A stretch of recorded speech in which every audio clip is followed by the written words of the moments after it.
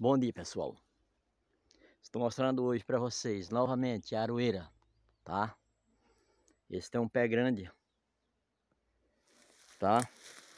E vou dizer para vocês o seguinte Preste bem atenção A quantia de casca é sempre quatro dedos, tá ok?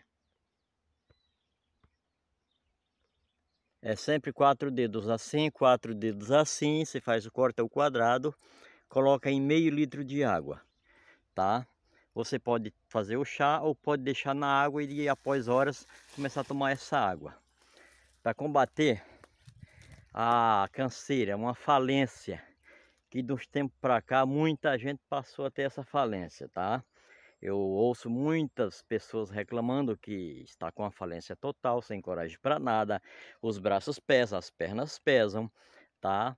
E então eu estou explicando para vocês hoje que vocês tomando chá da aroeira, da casca da aroeira.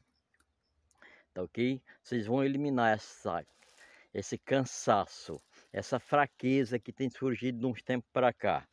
Ok? Preste bem atenção no que eu estou dizendo para vocês, pessoal. E vocês se livrarão desses problemas, ok? Até a próxima, se o Eterno permitir.